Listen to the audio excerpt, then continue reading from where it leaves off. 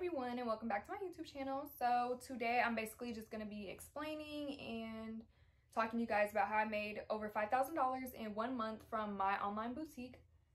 Y'all, my dog is so bad. I had her out and I don't ever put her in her cage, but she was biting the shit out of my clothes and I'm like, you're not going to put a hole in my fucking clothes. Like, no. And then she, she was sitting on the bed staring at me trying to make me feel bad because I put her in the cage.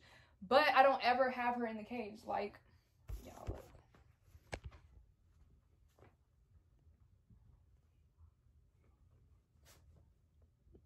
See, she's trying to make me feel bad, but no, it's not gonna work, sweetie. But, um, yeah, so basically, I'm just going to get into what I do, how long I've been doing it, and what I sell from the beginning to what I'm selling now. So I opened my business, which is called Lovely B's Boutique. I don't know if I already said that.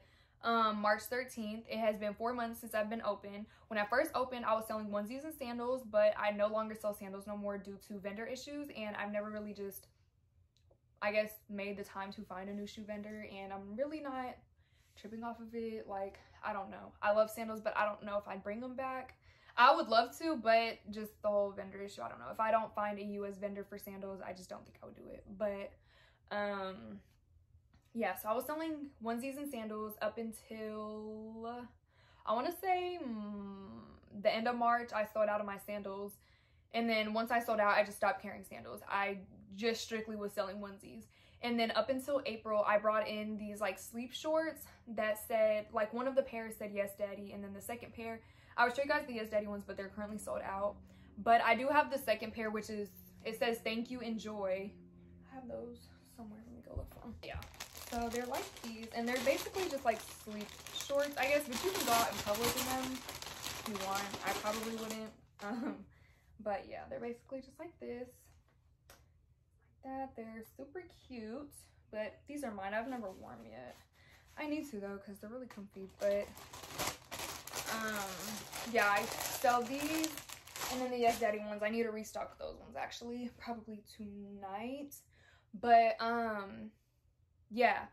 So now I sell sleep onesies, um, shorts, anklets, phone cases, and sunglasses. Um, I just got the rest of my sunglass order today, so I only have one pair available to purchase now on my site, but tomorrow I'm gonna have like the rest on there. And then my phone cases, those are all came in, everything, they're available on the site to purchase. And yeah, so basically I'm just gonna tell you guys, I guess, how much I made. Not all my months, but I'm gonna show you guys. Like my first month, I did not do good. Like I don't even remember how much I made my first month, but I'm gonna show you guys. Like, and I'm just being completely honest. Like I really did not make a lot my first month. yeah, I'm out of fucking breath. I'm so out of shape. I don't understand how talking makes me out of breath. But um, no, like things didn't start picking up for me until I want to say May till now like things have been picking up and I've been doing good. Obviously I'm nowhere where I want to be. I won't be completely satisfied until I'm self-employed which is obviously the goal is to be self-employed because no I cannot no I can't keep working for somebody. Like that's just not me. Not me at all but why can't I see? okay. So let's see. So I was I opened March 13th. So we'll just do March 13th to April 13th. So it can be like considered a month. Oh, okay, I guess. Okay, I didn't do bad, I guess. I didn't realize that I maybe I started to pick up in Mar in April, I guess. I don't know. But basically, y'all can't really hold on, let me just grab this. Damn, it's not gonna let me flip it. I'll just attach photos of it but um, basically from March, or I'm sorry, February. Oh, I'm sorry. I'm reading this so wrong. March 13th to April 13th, I made a thousand dollars and 279 cent or a thousand two hundred seventy nine and 94 cents. Um, it's not really telling me how many orders I had, but yeah, I don't really think y'all can see it's gonna be right here but yeah anyways so in that following month i made a thousand two seventy nine ninety four like i said that wasn't my best month I don't, maybe things started to pick up in April. I don't know. Cause I know in March I did not, I maybe sold five things that entire month. I don't know. But I know I didn't do good. But anyways, so I'm just to show you guys how much I've made like a month now. Like from June 23rd to July 23rd. Um, see. July, oh shit, what am I doing, y'all? June 23rd, July 23rd. Okay. So from June 23rd to July 23rd, I've made five thousand dollars and fifty nine. Why do I keep doing that? $5,059.21. It's right here. I wonder if I can flip this video so y'all can't see like crooked or whatever. But right there, I'll make sure to attach photos as well so you guys can see. But yes, that is how much I made um, this month well, from June 23rd to July 23rd, so a month. Um, basically, um, I don't really know what to say.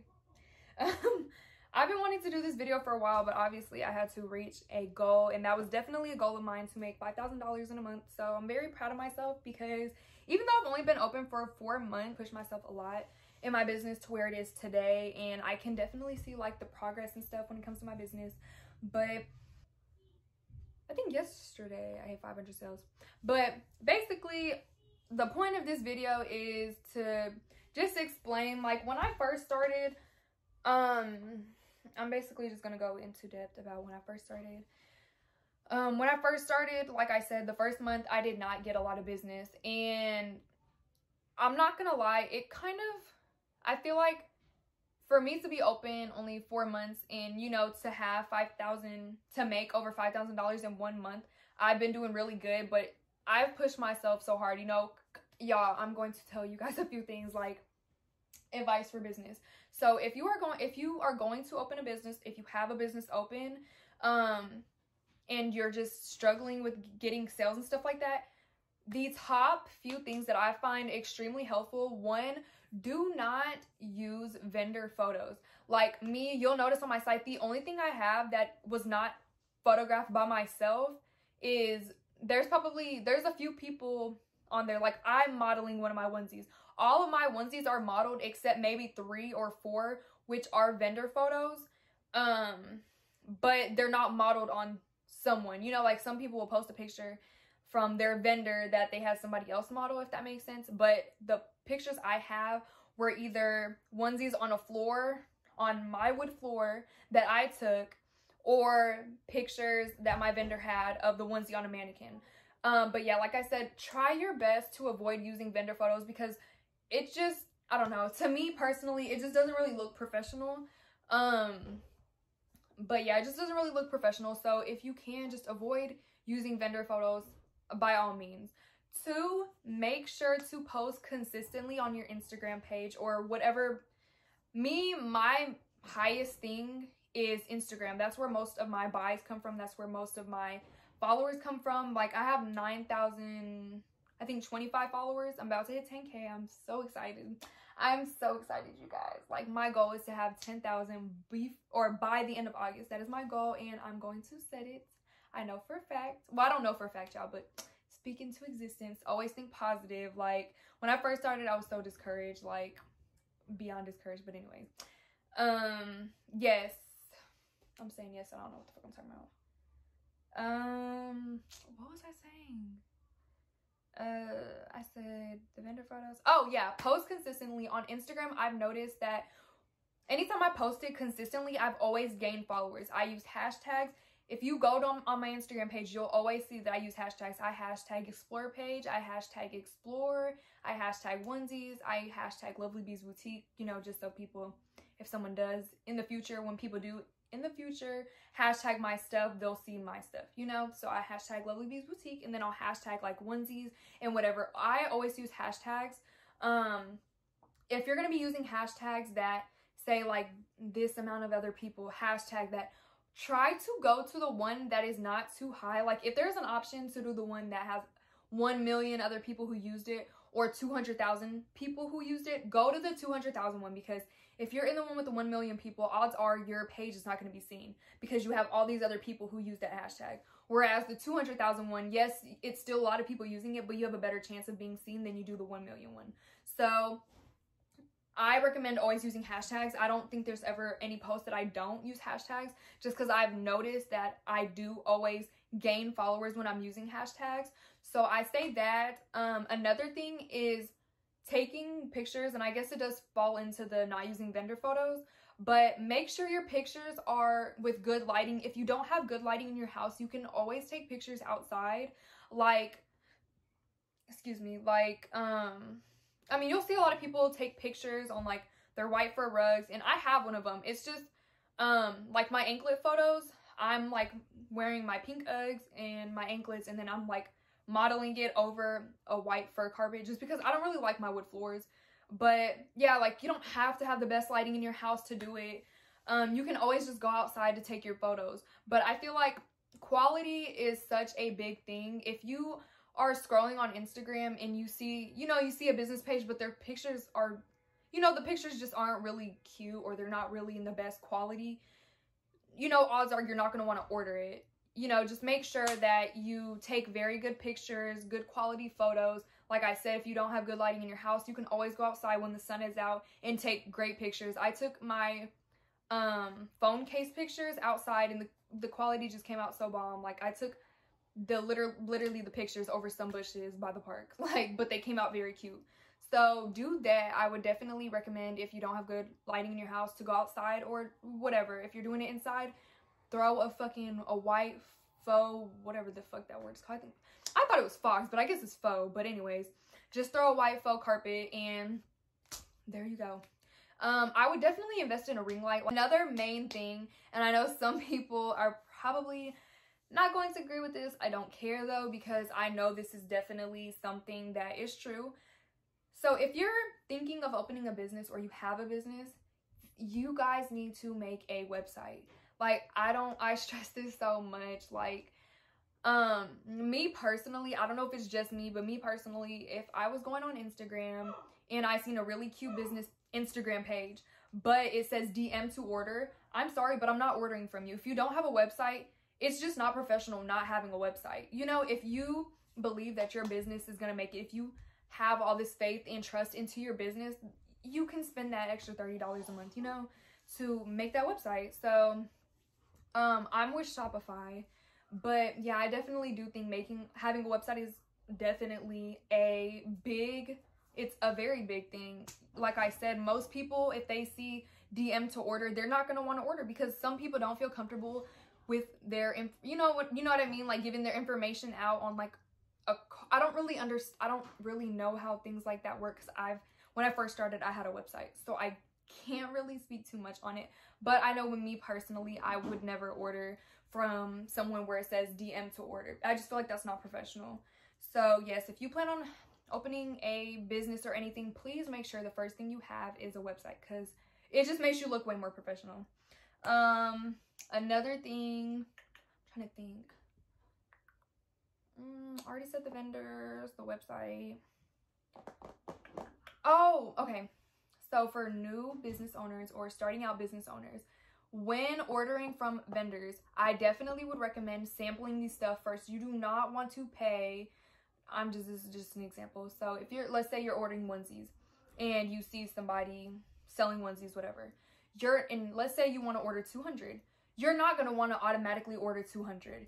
You, okay, sorry, y'all. You're going to want to order a sample first because you can order 200 onesies and the quality not be good. And nine times out of 10, if you don't like the quality, your vendor is not going to take it back, especially with COVID going on. They're not going to, they're not going to refund you your money nine times out of 10. They're just not.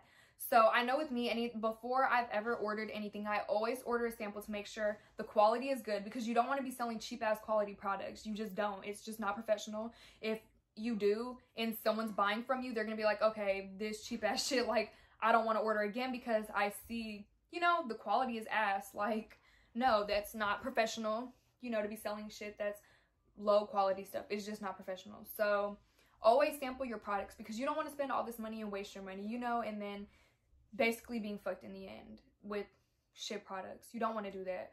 Um, I think that's really about it, all I can think of.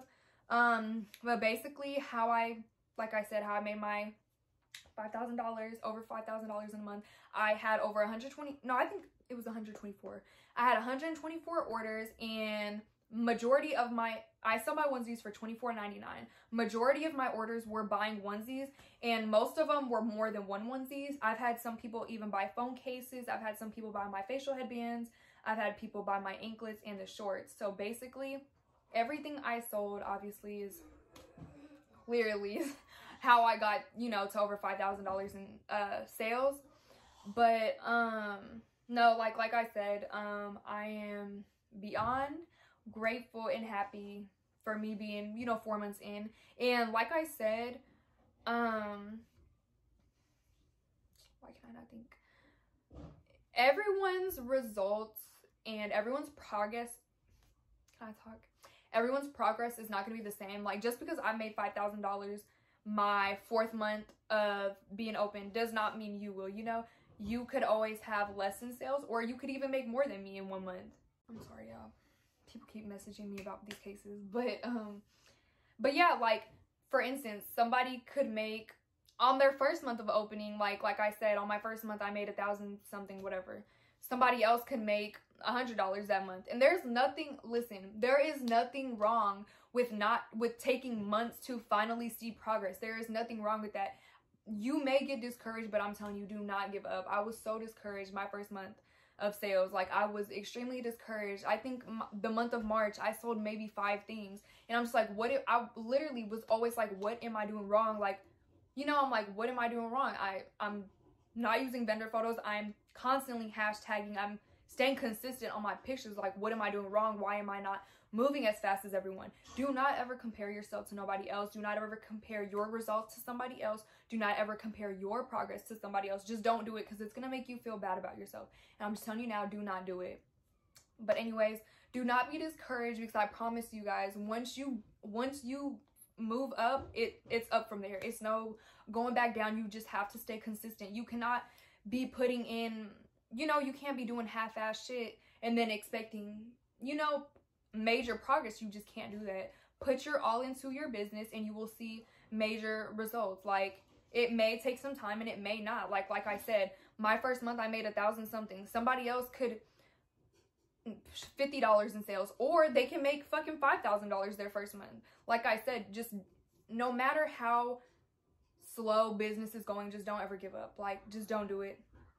Um but yeah that's enough of my pep talk. Just, you know, don't be hard on yourself. I was hard on myself. I'm just like, what the fuck am I doing wrong? like, you know, and there was times I'm like, okay, maybe now is not for me. And then, like I said, you know, I was just like, fuck that. You know, I've always wanted to open a business. So I just kept pushing, kept pushing. Finally, shit started picking up for me. And I'm beyond blessed. I'm beyond grateful and thankful for where my business is today. Like I said, I'm nowhere near where I want to be, but I'm so thankful that it's where it's at. But um, if you guys have any questions, please just feel free to ask me in the comments and I will definitely answer them in another video or I'll just answer your question in the comments. But yeah, that's basically it. Um, yeah. Thank you for watching and my next video will probably be a bigger restock video because I'm definitely long overdue for that. I've been trying to do it the last two restocks, but I always forget.